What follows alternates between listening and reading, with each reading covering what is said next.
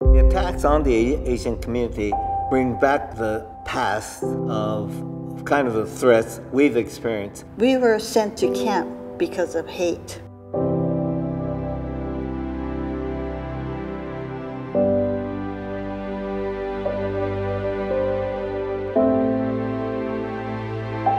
We're not all the same. We have feelings, you know, we have struggles, we have dreams. Growing up, I wanted so bad to be white. I wanted so bad to have blonde hair and blue eyes.